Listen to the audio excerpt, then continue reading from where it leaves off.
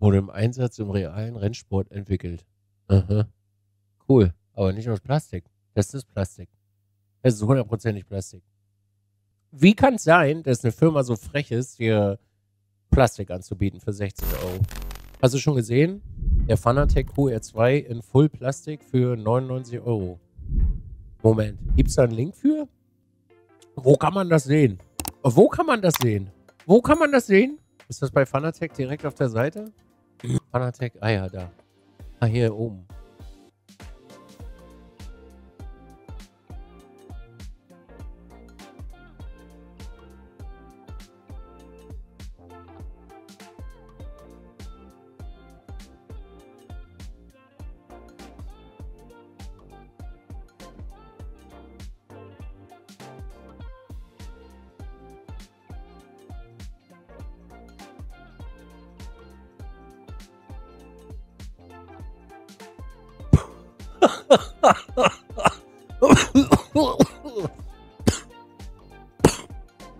Okay, also ich nehme mal an, dass das hier Light ist Plastik. Also das sieht aus wie Plastik. Das hier sieht dann schon aus wie Metall. Das hier sieht dann aus wie Plastik. Also sieht so aus, ne? Aussehen. Warum kostet das jetzt hier 318 Euro? Maga, das ist ja im Gegensatz zu Asitec schon frech, Alter. Also bei Asitec kriegen wir ja sogar noch drei Schaftlängen dazu. Ist vermutlich aus dem äh, GDA, also ja, ja. Aber mal für 318 Euro?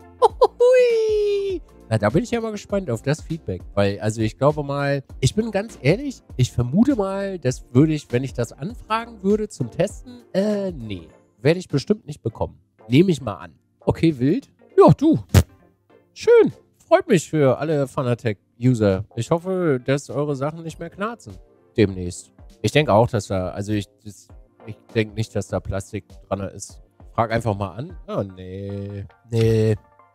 Ich glaube, da brauche ich nicht fragen. Aber cool, dass das jetzt zwei Jahre gedauert hat, bis das raus ist. Und sie auch noch irgendwelche Witze darüber bei Twitter machen. Ich hatte letztens nur so einen Post gesehen dazu. Würdest du ein geheimes Review machen, wenn sie fragen würden? Was heißt geheimes Review? Ich mache keine geheimen Reviews. Ich mache alles öffentlich. Der Light ist aus Alu. Jetzt muss ich diese Seite nochmal besuchen. Das steht leider auch nicht da, äh, was, das, was das ist. Der Light ist aus Plastik. Also, keine Ahnung. Das ist Plastik, ja. Das sieht aus wie Plastik, ja. Das hier sieht aus wie Plastik. Für 60 Euro. Wurde im Einsatz im realen Rennsport entwickelt. Aha. Cool. Aber nicht aus Plastik. Das ist Plastik. Das ist hundertprozentig Plastik. Base-seitig ist Alu. Du, das ist am Ende scheißegal. Äh, du bezahlst 60 Euro für ein Stück Plastik. Also das sind 60 Euro für ein Stück Plastik.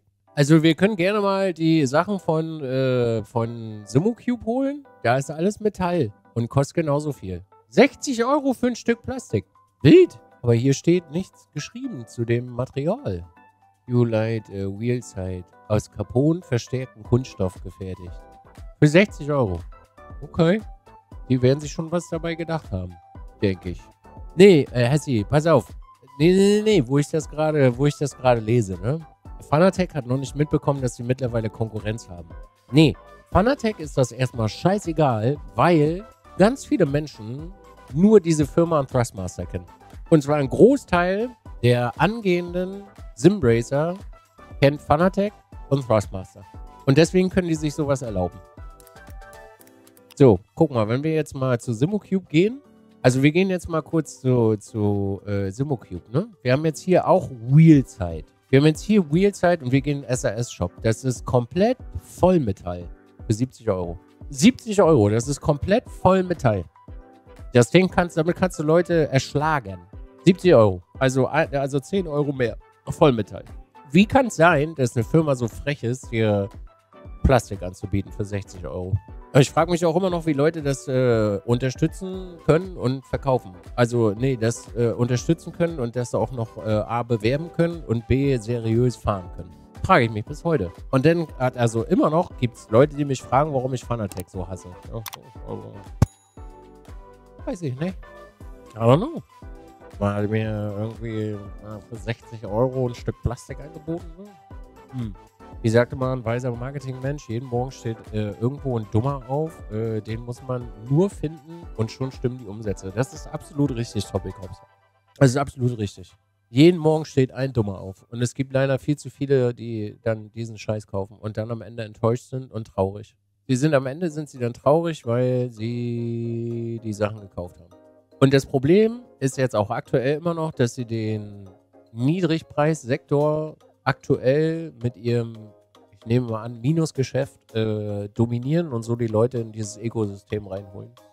60 Euro. Gilt aber eher für das obere Segment, oder? Nee, das obere Segment und das mittlere Segment hat Fanatec überhaupt nichts mehr zu melden. Gar nichts mehr. Also selbst im niedrigen Segment mit der CSLDD, also würde ich wirklich fast jedem, würde ich fast jedem sagen, Alter, wirklich versuch nochmal 100 Euro zu sparen und umschiff das einfach komplett.